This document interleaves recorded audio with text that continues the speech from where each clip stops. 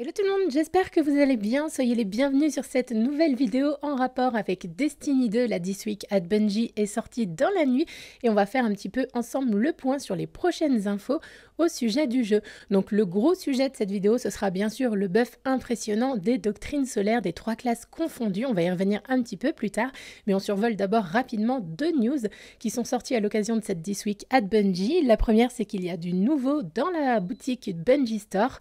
Il y a par exemple un un livre de cuisine qui va sortir prochainement et que vous pouvez d'ores et déjà précommander. Il y a également le volume 3 du Grimoire Anthologie qui va sortir également prochainement. Il y a également une autre info au sujet de la bannière de fer qui revient le 26 novembre à 18h, qui durera comme à son habitude une semaine jusqu'au 3 décembre à 18h. Et le mode à l'honneur sera comme toujours le mode domination. Alors cette fois-ci, pensez bien à valider tous vos triomphes et vos différentes quêtes restantes puisqu'il s'agira de la toute dernière bannière de fer de la saison 8. Alors côté stuff également pour l'avenir, Bungie annonce dans sa news qu'il n'y aura pas de nouvelles armures au programme pour la saison 9. Vous aurez en revanche l'occasion de récupérer les ensembles d'armures précédents puisqu'ils seront remis en jeu en bannière de fer, les armures de Destiny 2 uniquement cependant.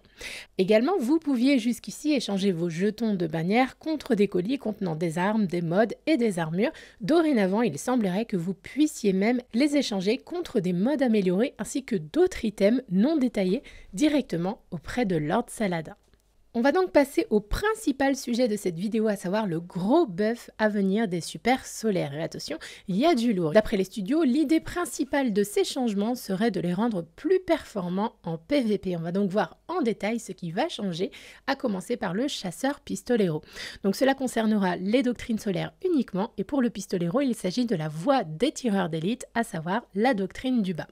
On va donc avoir une augmentation de la précision et de la portée de la visée automatique pour le pistolero 3 coups, ainsi qu'une diminution de la portée pour le pistolero 6 coups. Le couteau explosif pourra maintenant se planter directement dans les surfaces et exploser au passage de l'ennemi. Il aura également une nouvelle perque, à savoir le couteau lesté, qui permettra de projeter rapidement un couteau qui aura la capacité de ricocher une fois lorsqu'il touchera l'adversaire. Il faut savoir également que ce couteau one-shotera en coup critique en PvP. Pour finir, les coups de grâce de précision rechargeront complètement l'attaque de mêlée. Autant l'avouer, ça va rager dans les chaumières. Modification également de la perque entraînement salvateur puisque l'effet durera plus longtemps mais donnera moins d'énergie de compétence. Elle pourra se cumuler deux fois en cas de tir de précision. Une nouvelle perque également fera son apparition, Assommez-le, une perque qui proposera une augmentation de la stabilité et du maniement durant 10 secondes en cas de coup de grâce de précision.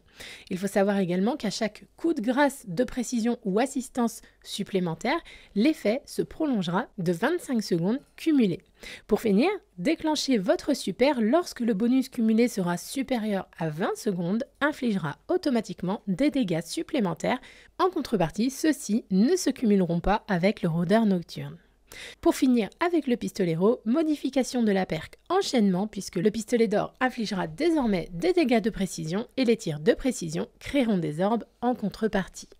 On passe maintenant au titan Brise Soleil avec son code du dévastateur, à savoir la doctrine du milieu. Les dégâts de base du lancer de marteau passeront de 100 à 200 points et la distance à laquelle le marteau pourra être récupéré s'allongera de 2 à 3,5 mètres.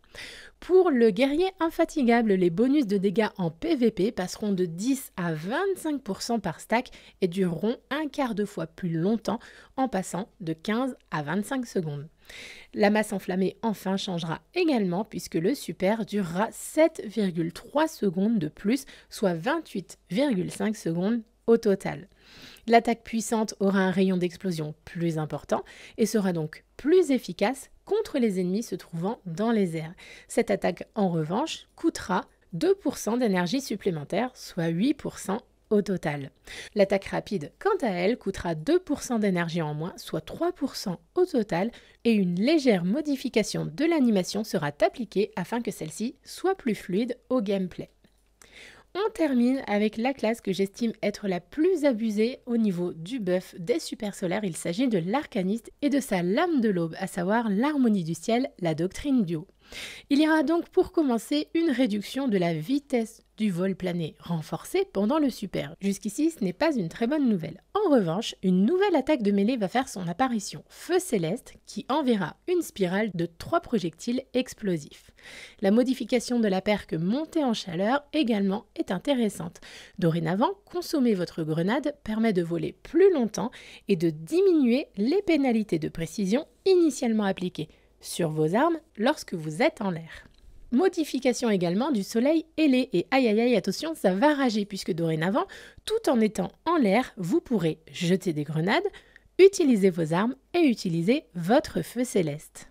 De plus, les coups de grâce réalisés tout en planant accorderont de l'énergie de mêlée supplémentaire et prolongeront la durée de la perque précédemment évoquée, à savoir monter en chaleur.